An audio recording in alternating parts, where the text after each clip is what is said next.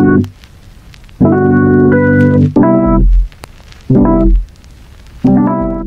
turma! Bem-vindos a mais um vídeo. Como vocês estão? Vocês estão bem? Já lavaram as mãos hoje? Lembrem-se de continuar em casa, sair somente se for uma necessidade real, sempre usando a sua máscara, passando álcool em gel e respeitando aí a distância de um metro e meio, dois metros das pessoas que estiverem próximas.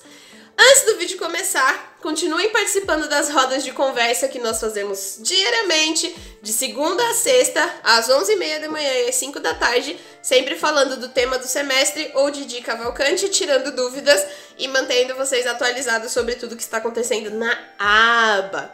Hoje nós vamos fazer uma coisa diferente, né? Então a gente vinha fazendo rostos e corpos, hoje nós vamos fazer cenários. Então a gente vai tentar pegar stickers e formas básicas para criar composições de cenários maiores. Diferente do outro cenário que a gente fez, que a gente usou só sticker, dessa vez a gente vai tentar aplicar o possível de perspectiva que o aplicativo permitir, trabalhar a questão de proporção, né? Então, perspectiva é um ponto de vista, o que significa que obrigatoriamente aquela coisa mais longe fica pequenininha, uma coisa mais próxima fica muito grande, tá vendo? Esse é meu dedo. Se eu colocar ele mais longe, fica pequenininho. Se eu colocar ele perto, ele fica grandão.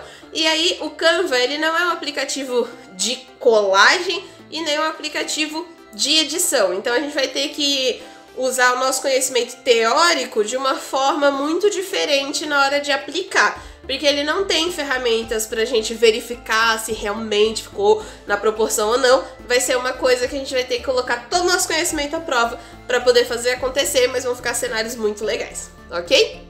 Bem, turma, vamos para nossa parte gravada da tela. No vídeo anterior, nós fizemos um corpo inspirado em um dos quadros do Di Cavalcante. Então, nós usamos como referência a baiana que aparece no quadro Feira Nordestina. E para hoje, nós vamos tentar criar uma coisa um pouco diferente que nós não havíamos feito de forma muito complexa, que é tentar criar um cenário. Dessa vez com a liberdade de poder usar tantos stickers quanto figurinhas, quanto todos os recursos que estiverem disponíveis aqui dentro do Canva. Então, aqui em cima no criar o design, eu tô vindo bem pro lado porque eu quero achar um formato deitado para que a gente possa criar esse cenário usando a maior parte de espaço possível. E aqui ele tem essa função, tá vendo? Ó, status do WhatsApp que é em pé. E aqui do lado ele tem papel de parede, a gente vai clicar em papel de parede. Lembrando sempre de deixar carregando a internet, ela tem que estar tá ligada, porque senão não vai funcionar qualquer sinal de lerdeza, de ai, tá devagar ou algo do tipo, não se preocupem, é uma questão de que o Canva, como eu sempre falo, você vai abrir ele, ele vai atualizar e vai trazendo sempre coisas novas. Então, abri aqui o meu template em branco. Primeira coisa que eu vou fazer é pensar no tipo de cenário que eu quero fazer. De Cavalcante fazia vários tipos de cenário, desde cenários de praia até cidades do interior. Ele era carioca, isso é uma das coisas que eu venho reforçando para vocês aí na roda de conversa, porque é um dos temas que vocês ficaram com curiosidade. Então a gente pode tentar montar um cenário de interior, certo? De Cavalcante era conhecido por fazer blocos de cores, vamos dizer assim. Então eu tenho pedaços do céu que são azul, azul claro, azul escuro, azul, azul claro, branco e assim por diante. Então vamos tentar imaginar algo desse tipo para o cenário. Então a gente não vai pegar nenhum template pronto para fazer isso. Então vamos lá em elementos e hora de usar a criatividade e todas as ferramentas que a gente tiver a nosso favor. Lembrando que o Canva não cria camadas da maneira que a gente está acostumado, então a gente vai ter que dar um jeito aí nessa nesse sentido. Então vamos lá. Primeiro de tudo, vamos clicar em elementos gráficos, ele vai carregar Lembrando que esses elementos gráficos e figuras são como se fossem stickers, as formas básicas, os gradientes, a gente já conversou sobre isso, são os adesivos. E para começar, eu vou vir aqui em gradiente. Por que em gradiente? Eu vou procurar algum gradiente que seja legal para usar de fundo para ser o céu, mesmo que ele não tenha cor de céu somente. E vamos ver o que, que ele tem disponível de graça.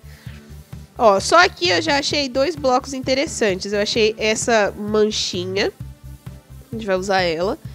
Lembrando que quando a gente usa essa função de stickers para nossa sorte, o que vai acontecer é que o próprio Canva tem a possibilidade de trazer designers parecidos. Então, eu vou clicar no botãozinho roxo, ele vai voltar. Tá vendo? Ele tem o que se chama recomendações mágicas.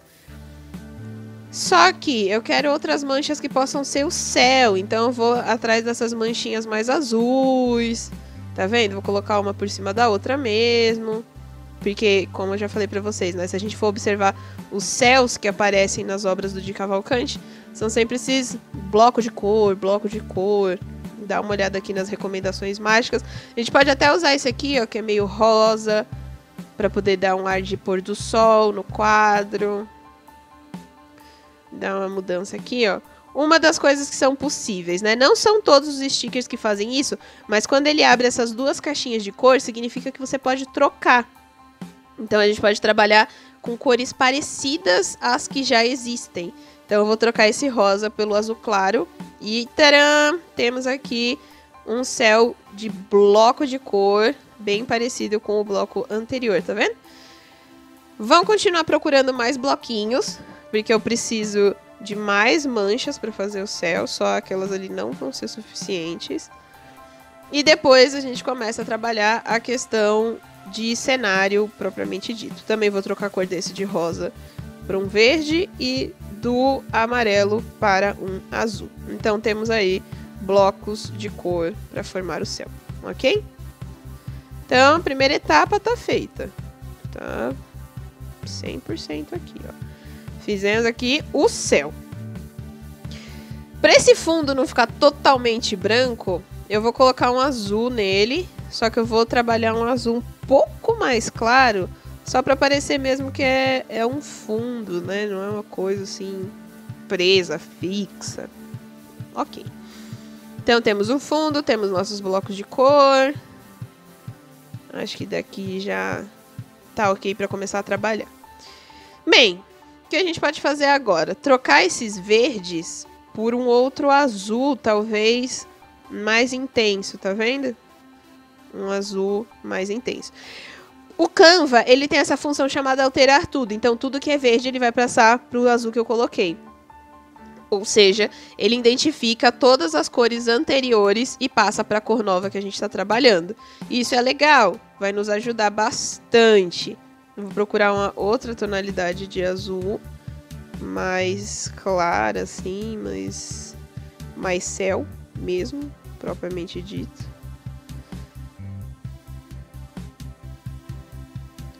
E aí, vamos ver como fica. Se não ficar legal, aí. Se não ficar legal, sem preocupações que a gente sempre pode trocar. Então temos um céu. Eu imaginei uma cidade de interior, então eu vou atrás agora de algo que possam ser as montanhas. Para as montanhas, por incrível que pareça, a gente pode continuar nesse mesmo sistema das manchas. O que a gente vai mudar é o tamanho que elas vão aparecer aqui e a cor. Então, montanhas montanhosas com cenários de morros, né? Na verdade, são morros, né? No Brasil tem montanha? Tem montanha. Mas geralmente nesses quadros são morros e não montanhas, ok? Então, eu vou vir aqui para o verde, ó, vou escolher um verde bem diferentão. E vou trocar o meu azul por um outro verde tão diferentão quanto. Por quê? Para a gente ter a luz e sombra. Lembra que eu sempre falo para vocês de Cavalcante, luz e sombra. De Cavalcante, muita luz e muita sombra.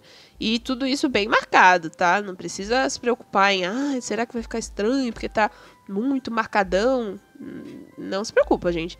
Porque nos quadros que eu até apresentei para vocês mesmos, eles tinham essa marcação bem forte. Então aqui, ó, eu vou subir e vamos lá. Vou trocar esse azul, esse azul, esse meio bebê para um verde claro também. E vou trocar este verde neon pelo verde escuro. Esse rosa, quer dizer, pelo verde escuro. E vai estar tá aqui, tá vendo? Eu vou passar essa outra peça de trás para frente. E aí ele vai vir enviar para frente. E já temos céu e morros. Agora a gente precisa pensar num chão. Para o chão, talvez a gente até possa usar uma figura de forma básica e não necessariamente essas formas que a gente tem aqui, meio de manchinhas e tal. Então aqui a gente tem um retângulo, tá vendo?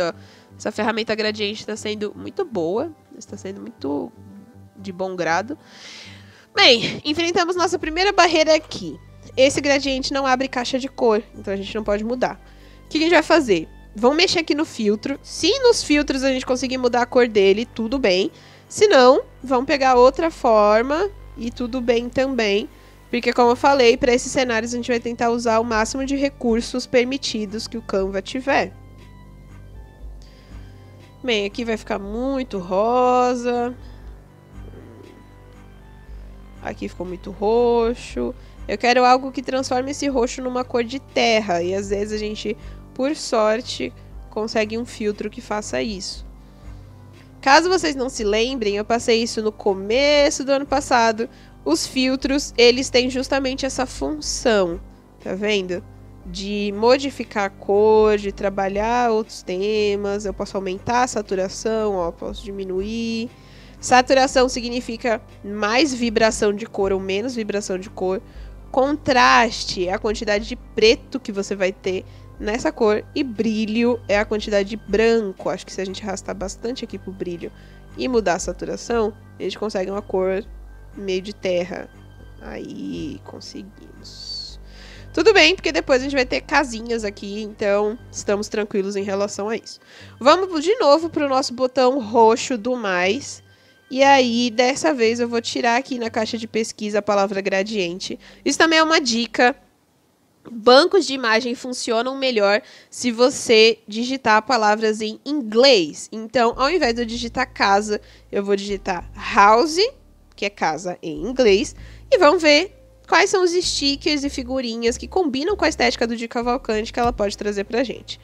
Ele pintava casinhas mais retas, mais históricas, né? Vamos lembrar do contexto. Ele estava em 1900 e Guaraná com rolha. Ele era de muito tempo atrás. Então, realmente vai acontecer essa diferença, né? De como eram as casas dele. Bem, não apareceu nada de interessante. Vamos apagar. Vamos tentar em português. Casa. Novamente, ele vai lá para o tudo. A gente precisa estar tá em figuras. Então, deixa ele carregar. Vamos para figuras e vamos ver o que, que aparece. Se aparecem casinhas mais simples, mais retas, quadradinhas. Pra gente compor o nosso cenário. Lembrando que quando a gente está em stickers, tem aquela função das ferramentas mágicas, né? Que a gente consegue casas bem parecidinhas. Então, vamos torcer aí para ver o que, que ele tem. Ó, a gente tem aqui casinhas bem tradicionais de desenho, né? Nada muito reto ou quadrado, são mais casinhas de tijolinho triangular. De telhadinhos triangulares, né? Quer dizer. Então, o que, que eu vou fazer? Vou pegar aquela primeira, que eu achei que é mais simples. Deixa carregar, tá vendo? Ó? Essa casinha aqui. E aí, o que eu vou fazer? Como a gente cria planos, né? O que, que é primeiro plano, o que, que é segundo plano. Então, segundo plano são todas as coisas que estão lá longe. Então, eu vou pegar essa casinha e vou colocar mais algumas do lado dela, só que distantes. Então, eu vou vir aqui, vou pegar outra casinha, diminuir o tamaninho e botar aqui do lado, ok? Então, longe. Deixa eu tentar mexer de novo aqui no ajustar para ver se eu consigo deixar essa cor um pouco diferente, senão a gente vai ter que trocar ela porque ela não tá legal ainda. Aí, agora sim ficou parecendo o que eu queria, né? Algo mais verde. Aí, muito bem, agora sim. Vamos atrás de mais casinhas para colocar. Então, eu vou subindo, vou subindo tentar achar casas com cores minimamente parecidas, né? Próximas. Aqui, essa casinha da terceira fileira. Diminuir. E isso daqui são as casinhas do segundo plano, tá vendo? Não tem problema colocar, entre aspas, por cima da outra. Você está montando o seu cenário, a sua composição ok? Então, ó, quanto mais para trás a casa, menor ela tem que ser. E aí a gente consegue até puxar mais para cima. Aí essa daqui também menorzinho. Então puxa mais pra cá. E quanto mais pra frente, maior a casa. E novamente não tem problema, né? Essa casa, entre aspas, tampar a outra. Porque aqui a gente vai fazer essa composição de cenário.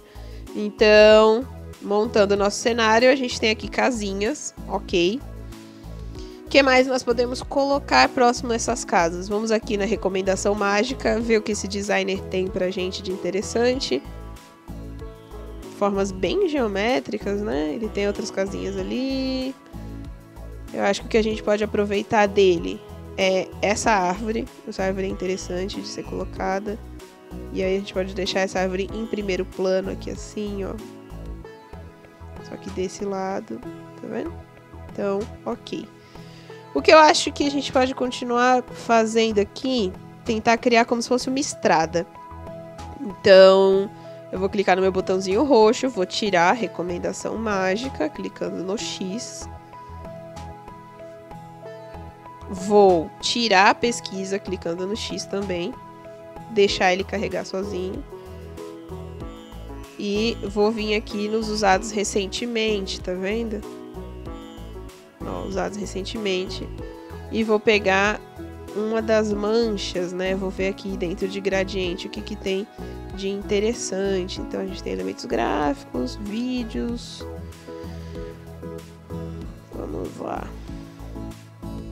O que eu estou procurando? Algo que seja meio formato de S, para a gente poder considerar como se fosse um caminho de terra. Parece complexo, mas vai fazer sentido. Então eu voltei aqui nas minhas manchas, ó. Eu vou pegar essa mancha aqui que parece um pincel. Tá vendo?